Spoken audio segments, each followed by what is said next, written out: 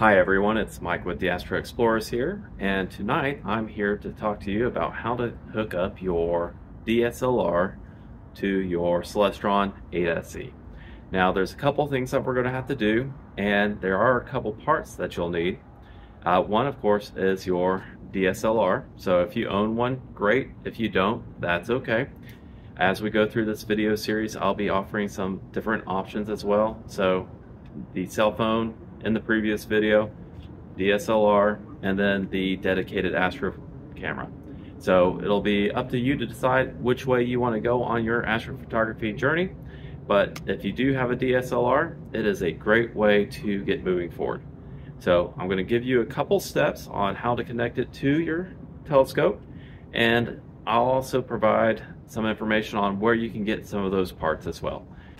Alright, so just uh, watch to the end of the video and I'll let you know what you need. All right, so the first two things you're going to need is a T-ring and a T-ring adapter. Now the T-ring is what you'll attach to your DSLR camera. You unattach the lens on your camera and this will feed in. And then the T-ring adapter is what replaces the eyepiece on the back of your telescope. And the two will screw in together with this attaching to your telescope. And with these two pieces, which you'll be able to order online, and I'll have those items in the, or links in the description below, uh, you'll be able to attach your DSLR to your telescope. So I'll show you how those attach here in a moment. And uh, I've got another handy tip for All right, another thing you'll want to get is probably a power adapter for your DSLR. If you're out late shooting the stars, uh, different nebula and the like, galaxies, you're going to eat up a lot of that battery power that's on your camera.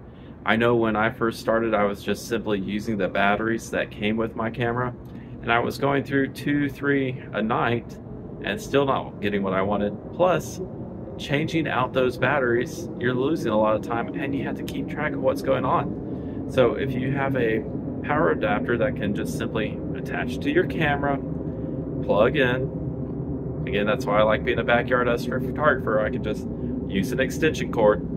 Um, this will give you all the power that you need to keep your camera running all night long.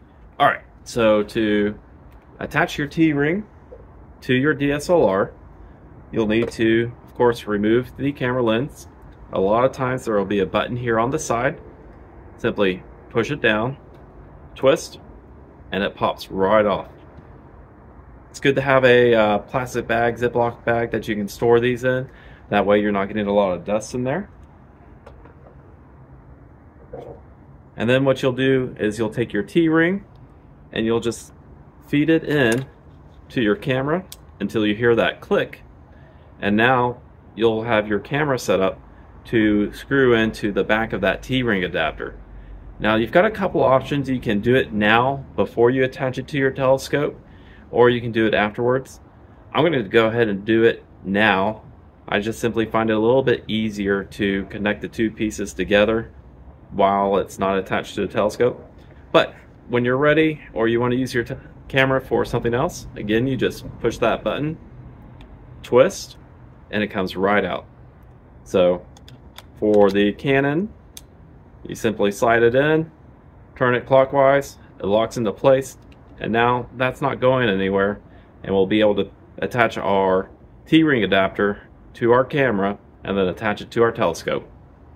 Okay, so like I said, I like to attach the T-ring to the camera before attaching the adapter to the back of the telescope. I just think it's a little easier uh, to line the threads up.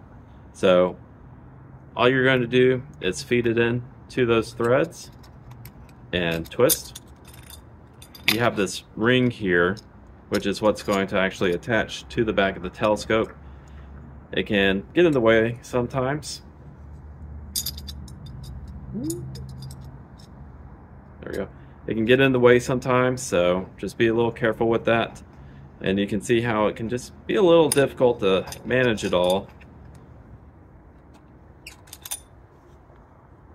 Alright, so you take that T adapter, you feed it in, you still have this part right here that's going to actually screw into the back. But what you'll do is we've got it started on the threading.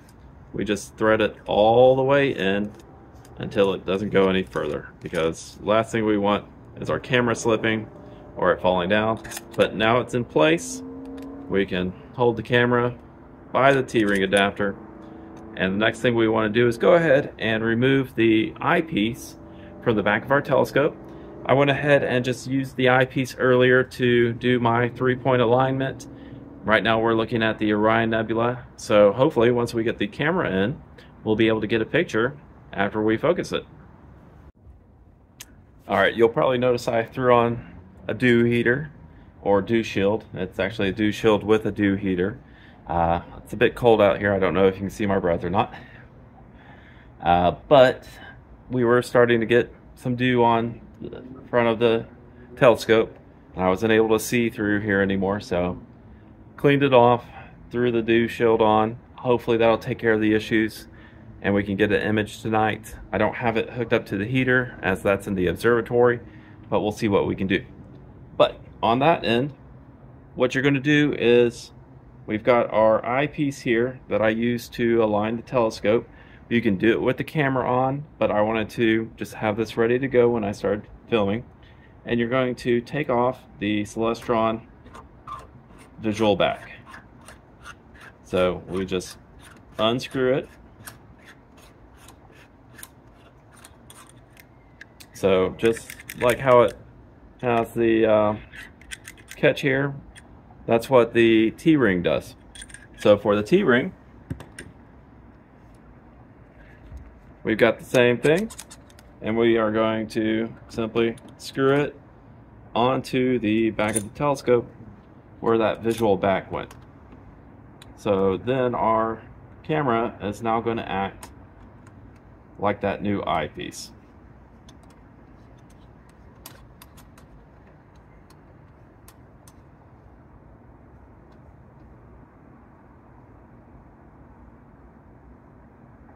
And one of the things you can do is, since you can loosen it, you can rotate your camera how you like. So if you have a target that sits a little bit better, framed a little bit better, you can loosen this, rotate your camera, tighten it back in, and you can frame that way.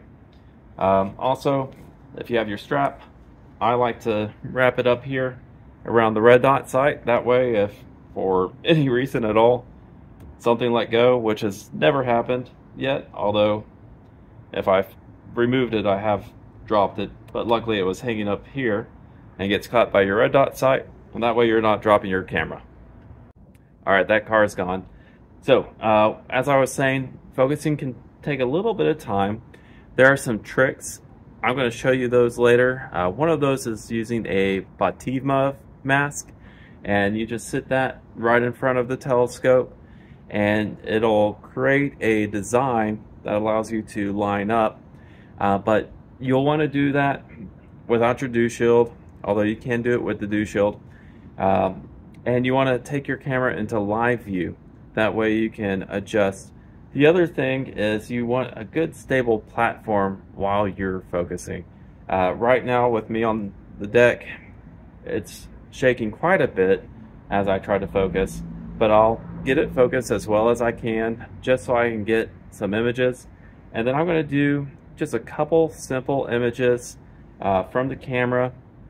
At a couple seconds we'll do a one second we'll do a five second and we'll try to go up to 30 seconds which is about the limit of what you can expect on a unguided Celestron Nexstar 8SE so I'm going to focus this get a couple images and I'll let you see what I get. Alright so went ahead, took several different pictures here. Um, started at one second, three second, five second. I think I did 10, 13, 20, and then 30. Um, 30 is the longest I can do without going through software, uh, plugging into a laptop, things along those lines, just on my old Canon T2i. And yes, it is a old Canon T2i that I'm using. So I'm going to share these images with you, um, let you see what you think of them. Uh, they'll be quite a bit better than the cell phone ones that I showed you in the previous video. Uh, so These aren't stacked, they're just straight from the camera. So getting into stacked images is going to be something we do in the future, but I'm going to show you these images and we'll talk about those here for a minute. All right, so here's the first image. It's six seconds long. Uh, like I said, these are not stacked, and you can see the little bit of the outline of the Orion Nebula. Um, the stars aren't perfect. Again, this was just on my deck, so any movement that I had is giving us a little bit of wiggle. Uh, but you can actually see the outline of Orion, and it's pretty good. I mean, this is better than what you would be seeing if you were just looking out your eyepiece. The second image is 20 seconds long. I know I did some different image links. Unfortunately, they did not all come out. But here you can really start to see Orion popping out. Uh, the stars, however, are starting to get much bigger and blown out. And that's because we're doing that longer exposure length. And one of the benefits of doing the stacked images at a lower exposure length is your stars don't get as blown out. So you still get the nice exposure length on the nebula without blowing out your stars. And here when we look at the next image at 30 seconds, again, Orion's really starting to pop.